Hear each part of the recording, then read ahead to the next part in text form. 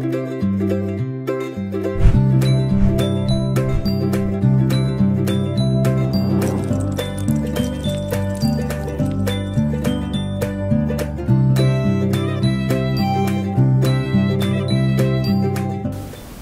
Olá meninas, olá meninos, tudo bem com vocês? Tudo ótimo comigo também. Que bom estar tá aqui hoje, né, para mais um vídeo. E assim, eu queria agradecer vocês, todo esse contato, todo esse carinho que vocês têm por mim, que eu tenho feito os vídeos, tenho feito lives e vocês têm gostado bastante. Eu tô tendo um retorno muito bom, então eu só tenho que agradecer. Eu queria dizer, é, quem ainda não curtiu, para deixar a curtida aí no vídeo, se não até o final deixa a curtidinha aí pra gente, né, que é tão importante. Compartilhe também o vídeo. Se você não é inscrito, se inscreva no canal, né, que é, é bom, é importante a gente ter você inscrito, porque sempre que você está inscrito e colocou ali a notificação, que é o sininho, com certeza ali você vai receber uma mensagem dizendo: Olha, tem vídeo novo no canal, tô chegando aí com dicas, né? Com algumas coisas que você pode utilizar em casa. Hoje eu vou falar com vocês sobre um tônico que a gente utiliza para fazer é, com que o cabelo pare de cair, para ter um crescimento legal, para acabar ali com aquela oleosidade excessiva no cabelo.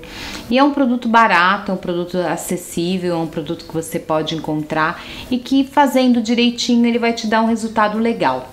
Então eu vou ensinar você a utilizar e você utiliza e depois me conta aqui nos comentários se você já usou, se você gosta, se você já, já viu, né, que tem para algumas pessoas é novidade, para outras elas já conhecem. Eu tô falando, gente, desse tônico aqui, ó, de fortalecimento de cabelo, que ele é da gota dourada, ele contém óleo de rícino, que a gente já sabe que o óleo de rícino é excelente para crescimento de cabelo e também para queda, né? Ele evita a queda de cabelo. Então, é esse tônico em específico, ele tem uma coisa bem legal, ó, que ele tem um da gota dourada, que ele tem um tipo aqui de aplicação. Então, ó, se vocês olharem aqui, vocês vão ver que tem ali tipo uma dosagem, né?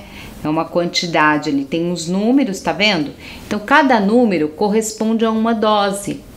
E aí você consegue dosar a quantidade dele certinha para você poder utilizar no seu dia a dia ali sem erro, porque muitas vezes a gente fica em dúvida quanto que eu devo usar, qual a quantidade que eu devo utilizar.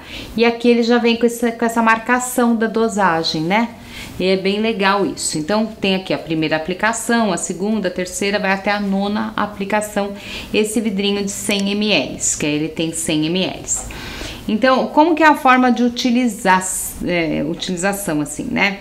A gente consegue agitar bem, e utilizar na raiz com o cabelo limpo, gente. Sempre depois que você lavou o cabelo, que o seu cabelo estiver seco, inclusive, você vai aplicar essa dose no couro cabeludo.